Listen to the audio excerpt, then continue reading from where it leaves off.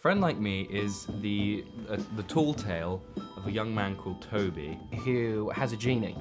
And the genie is a bit of a layabout kind of character. He is a genie with infinite powers, so he he doesn't really have to worry about being rude or like um, you know ignoring people or not saying the right thing.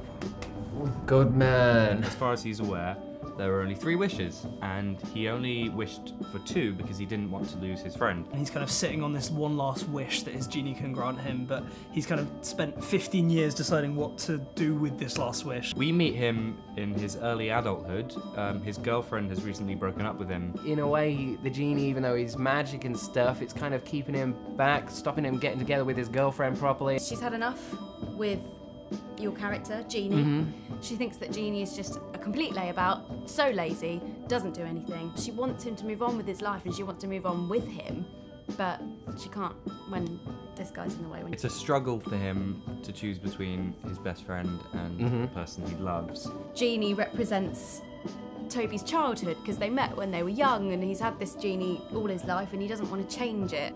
So he's got to decide. Maybe now's the time to make that third wish. What's it going to be? He's going to lose his friend, but you know, if it's if it's for love, then anything is possible. That's Really? a really good description, thank you. Thank you. It sounds amazing. Have you seen it? Uh, no, absolutely not.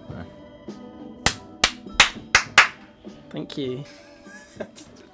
Just do the whole thing like that. Hello, good to see you. You're looking well. So in this video, I'm going to be talking a little bit about my newest film, Friend Like Me. I may well run into some spoilers, so if you haven't seen it yet, it'll be the first link in the description. Right, so without further ado, let's get started. Iris asks, what was the original concept you had for the film? Did it change as you started filming and casting, or did the film pretty much turn out how you'd envisioned it at first? So the original concept went through a lot of changes. For a while, I'd had this idea of a very grounded comedy where just one character was magical in some way. As I started to develop it, I got more and more attached to this idea of a genie, as I felt it created an interesting dynamic, but it also had narratively a sort of ticking bomb because of the three wishes. I also very much envisioned it animated uh, and with a much more cartoony tone. I'd even spoken to my friend Matt Ley about some of the possible character designs. Then, as a completely different thing, I had a concept for a short film called Lola, which was a love triangle between a girl, her imaginary friend, and her ex boyfriend. The idea being that she had a very overactive imagination and that often she was lost within her own daydreams. I pitched a lot of stuff to Newform, and in the end, the idea that struck with them the most was the genie concept, but they wanted it live action instead of animated. So I decided to take some of the ideas and scenes from Lola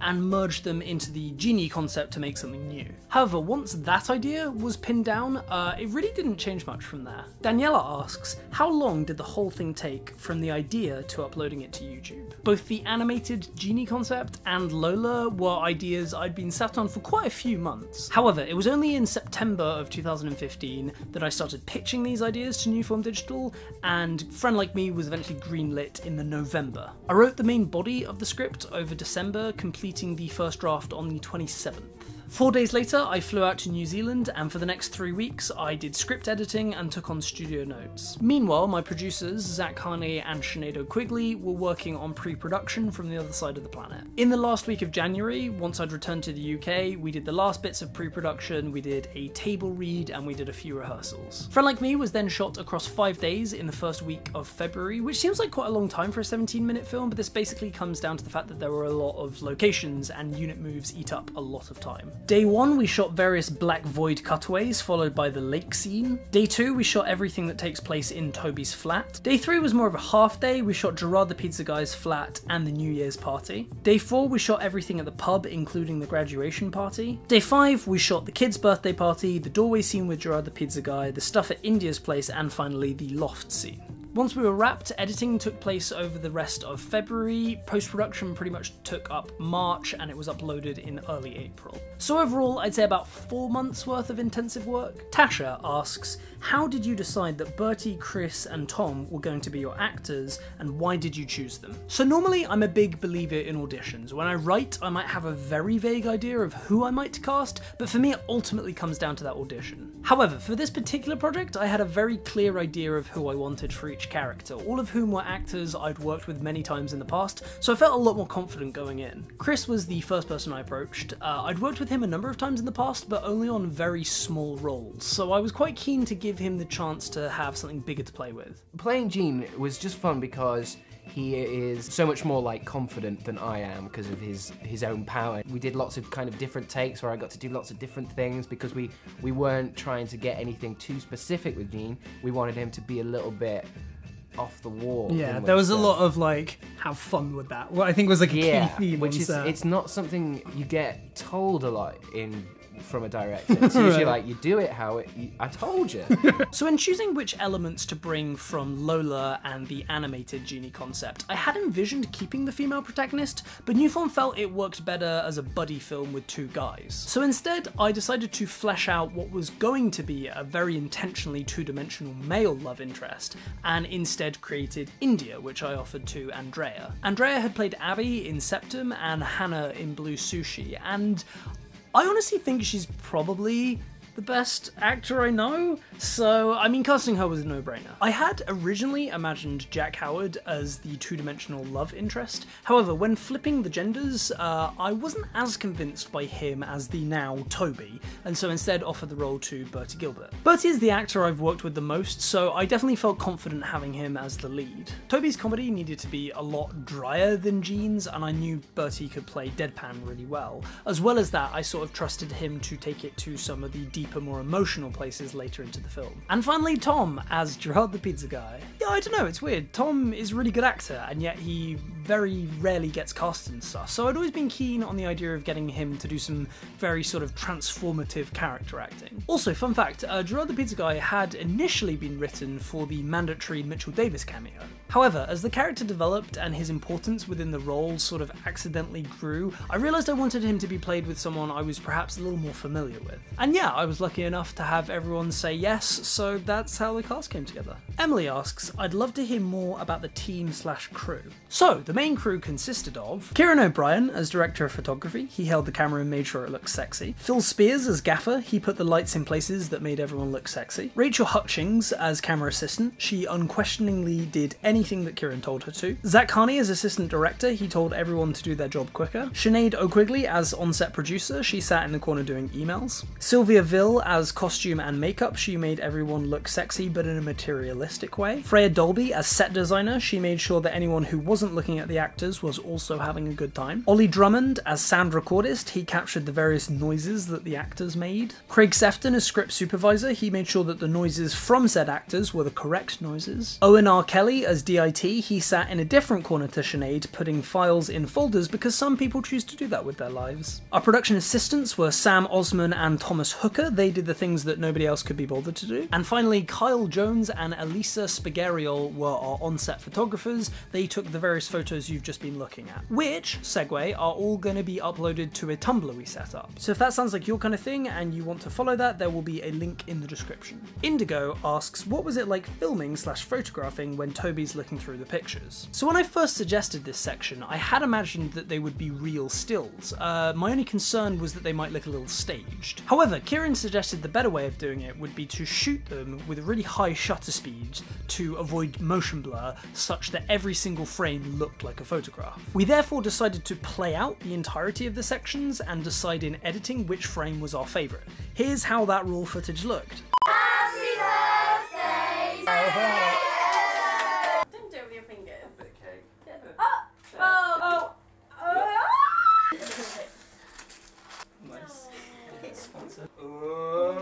Yeah, I want someone who can Chinese. oh yeah, just I want the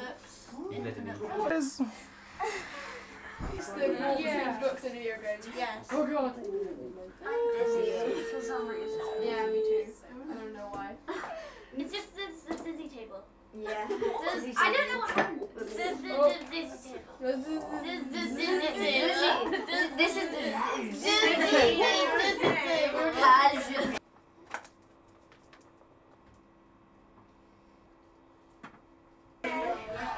Oh, sorry, you can't sit with us. You're allowed to play. You can't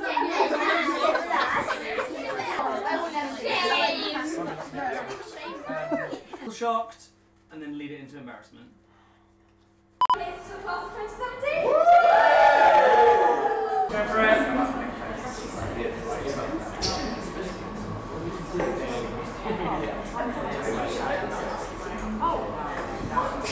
Go. Sorry, if you could keep the noise down a bit more. I've, I've told you a couple times now. and it's- What? What you fucking say? trying to You say- trying to fucking tell me fucking what? No, you Fuck- Really let your head the floor. Yeah, that's nice. Okay, cool. Okay, and in.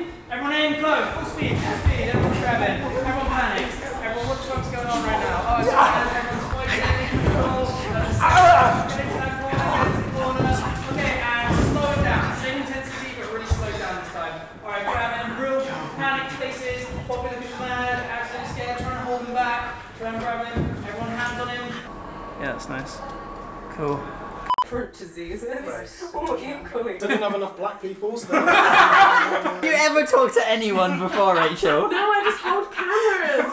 They're in the bathroom. They're in the bathroom. Just don't make that. This is so weird. Oh god. Hello. Be careful. Hello. Hello. Okay. Hey guys. Um, Hello. um, How you doing? Get Shall we out. get some sun? Get out. Didn't hear. Get out. okay, all right, that's that's just.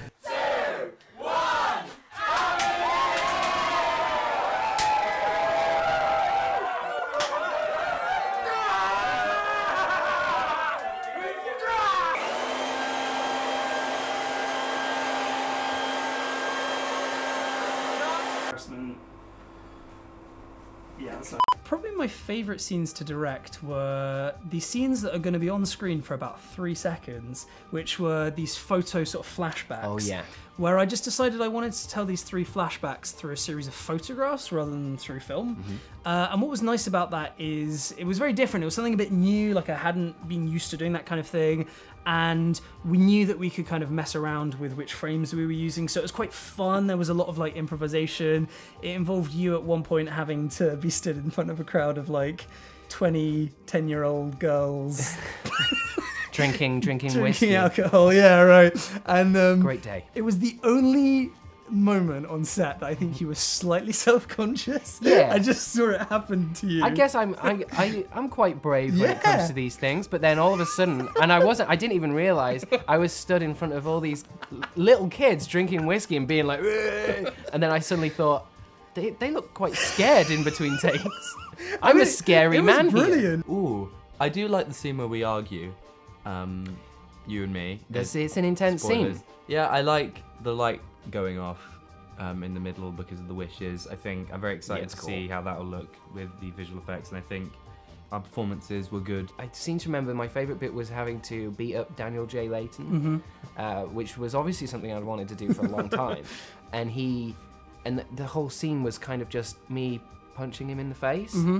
From all different angles. And then you covered him in blood, and then Mm-hmm. I got carried away, and there was a lot of swearing and shouting. Hmm. Just a fun day. I really liked um, shouting across a big body of water. Yeah, I saw Although that it the was other day. very cold. It was extremely cold. I was just there shivering, just, uh, waiting in between takes. Anna asks, what was post production like and how involved were you in it? So, post production started with Elliot Gough, who edited the film. Our general workflow was that he'd put stuff together, I'd then give notes, and then we'd ping pong it back and forth until we were both happy. After that, it went to the post team, which consisted of Dan Pugsley doing sound design, Tom Barnes doing score, Michael Dean doing VFX, and Ciaran O'Brien doing colour grade. Here's what that process looks like before and after they've done their job.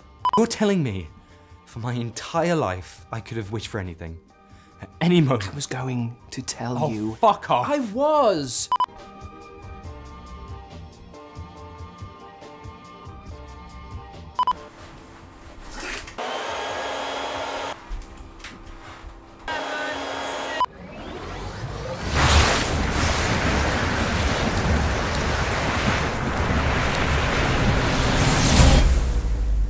We're done. Wait, I don't care. Whatever you're about to say, I don't care. you're my I best wish friend. that you You're all I've got. were out of my life.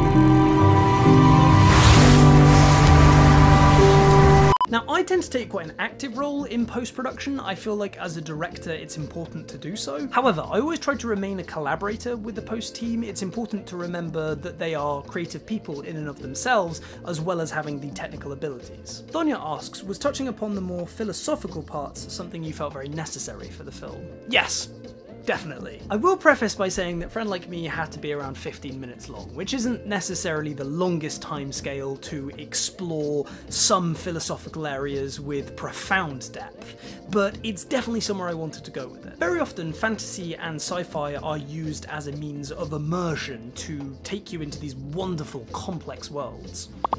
And to be clear, those are some of my absolute favourite films. But I'm also a real sucker for films that take one element of sci fi or fantasy to tell an extraordinary, but fundamentally very human story. Chris Kendall asks, What was it like working with me? Funnily enough, this isn't the first time Chris has asked this question. What What was your favourite thing about directing me? What was it like working with me? Just quickly. Well, it was in there. Um, aha! So in my head, Chris is like weirdly insecure about what he's like to work with, which he should be because he's a piece of shit. Okay, here's my real answer. It's kind of what you were saying earlier. It's just the fact that like we left it really open, and I never wanted to kind of like tie you down too much. To, like, oh, this is how I want it to work. So there are a lot of times where I was just like, go big, and then if needs be, I'd rather be saying like, let's bring it in a bit, rather than like, give me more, give me more. Um, so it was a lot of fun, kind of like not knowing quite what would come out of you. There's a line. there's a line where you're being um, Aquaman. Oh, yeah. Um, and you do an Aquaman impression. I think in the space of one shooting day, Aquaman had about 50 different accents. Hey, does anyone need any water-related crimes being solved? hey guys, does anyone need any water-related crimes being solved? No? Okay, well I'll just, I'll just be over here if anyone needs me. And finally, before we go, uh, the most common question by a mile uh, has been Will there be more? My answer is a solid maybe. Friend Like Me is definitely meant as a concept piece, a pilot, something that could go elsewhere. And I'd love to. Newform Digital and I will definitely be working hard to get this pitched around to a lot of different places. But I will say this I had this concept long before I ever envisioned it going to series. If you hadn't noticed already, I am a big fan of bittersweet endings. I think there's something quite tantalizing about them. So there's every possibility I will be a massive dick and end things there. Because I'm a horrible, sad, evil man who is broken and horrible. And on that note, thank you for the support for the film and it's it's doing great and I'm really happy and everyone's been really kind about it and posters is going to be you know if you're at MCM Comic Con London if you're at Summer in City whew, we're going to have some pretty some good po- there they are. Whew, aren't they looking good? So oh yeah gotta mm, thank you for the support. I had a lot of fun making it uh, and I'm glad that you liked it. Watch it again. Watch it again. What yeah